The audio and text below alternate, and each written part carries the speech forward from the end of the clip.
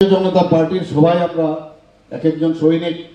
এখানে আমি সুবল বাবুকে ধন্যবাদ দেব যে আমাদের আগে পৃষ্ঠা প্রমুখের প্রায় বিয়াল্লিশ হাজার আমাদের পৃষ্ঠা প্রমুখ ছিল সারা ত্রিপুরাতে।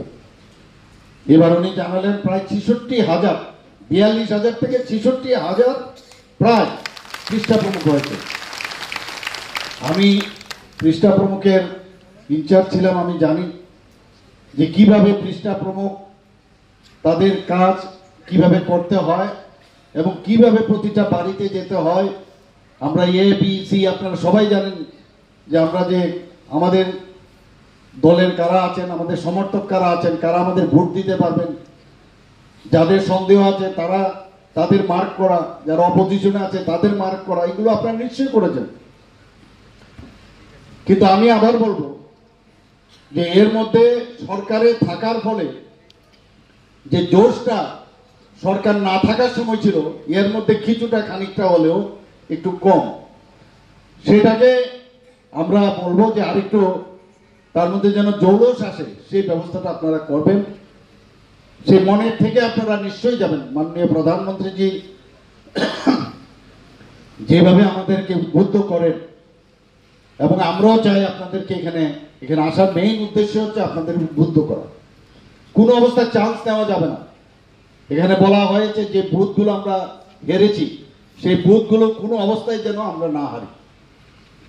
মাননীয় প্রধানমন্ত্রী, মন্ত্রী কি বলছেন? সবসময় দেখুন, দেশাত্মক বোধের কথাবার্তা উনি বলেন। উনি কি বলছেন? মেরে মাটি, মেরা দেশ।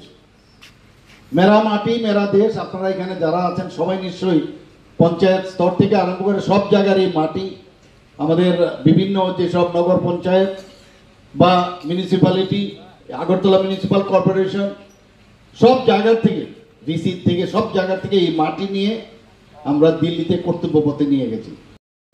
পঁচাত্তর সীমান্ত গ্রাম বীরকানা কোনোদিন আমরা এই ধরনের স্লোগান কখনো শুনেছি? উনি সম্মান দিয়েছেন।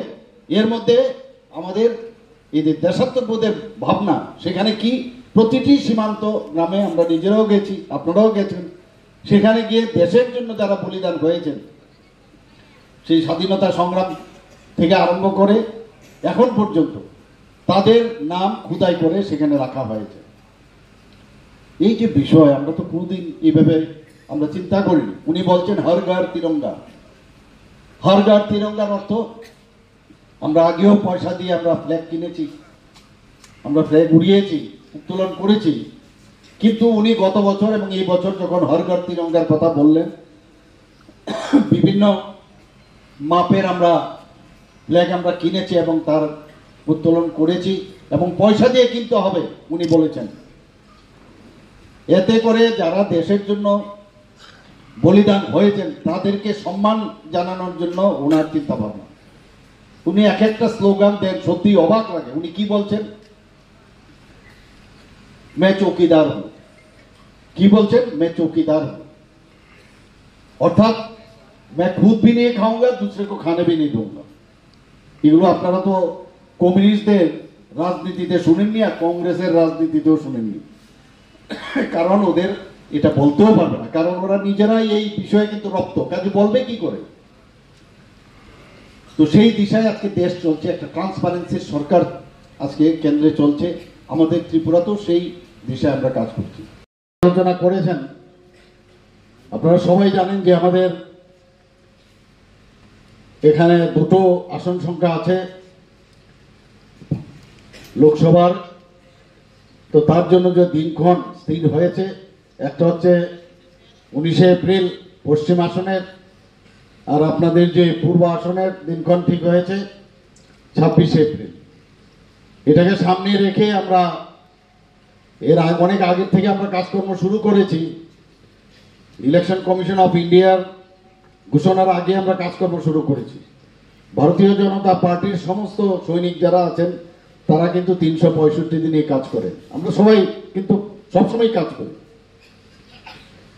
এবং মাননীয় প্রধানমন্ত্রীজি, এবার কার্যকারিণীর বৈঠকে যেটা আমাদের মাননীয় সভাপতিজি বলেছেন এখানে, উনি বলেছেন যে তিনশো সত্তর আমাদের ভারতীয় জনতা পার্টির, এবার সারা ভারতবর্ষে আমাদের তিনশো তিন আসন সংখ্যা ছিল, এবার আমাদের টার্গেট হচ্ছে তিনশো সত্তর।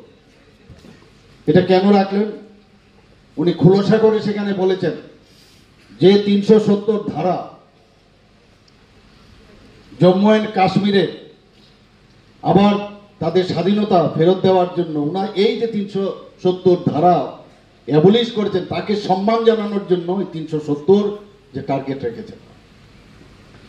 শুধু তাই নয়, উনি বললেন যে আমাদের যারা অ্যালাইড যারা আমাদের সাথে যুক্ত আছে ইন্ডিয়াতে, তাদেরকে নিয়ে আমাদের চারশো পার হতে হবে। আমি এখানে খালি বলতে থাকব, আপনারা খালি বলবেন চারশো পার। কতগুলো স্লোগান হচ্ছেন, সেটা মানুষের আবেগ থেকে বোঝা গেছে। আমরা চাই এই রাজ্যে আমাদের দুটি আসন রয়েছে। একটি পূর্ব আসন এবং একটি পশ্চিম আসন। আমরা চাই এই দুটি আসনেও আমরা আমাদের প্রার্থীদেরকে বিপুল ভোটে জয়যুক্ত করে মোদিজির হাতকে শক্তিশালী করব, সেই সংকল্প নিয়ে ভারতীয় জনতা পার্টি কাজ করছে। আর কারা এই সার্থক রূপ দেবে? আমাদের হলে যারা আজকে পৃষ্ঠা প্রমুখরা উপস্থিত রয়েছেন, তারা আজকে, তারা তাদের এই কাজের মাধ্যমে আমাদের এই ভোটাধিকারকে আমাদের সুনিশ্চিত করতে হবে। যারা পৃষ্ঠা প্রমুখ ভাইয়েরা, বোনেরা এখানে উপস্থিত হয়েছেন, আপনাদের নিশ্চয়ই নির্দেশ দেওয়া হয়েছিল যে আপনাদের সংশ্লিষ্ট পৃষ্ঠাটা এখানে আনার জন্য। কারা কারা এনেছেন একবার হাত তুলুন তো দেখি। কারা কারা এনেছেন পৃষ্ঠাটা বার করুন। খুলুন খুলুন, দিদি খুলুন হ্যাঁ। খুলেন এটা।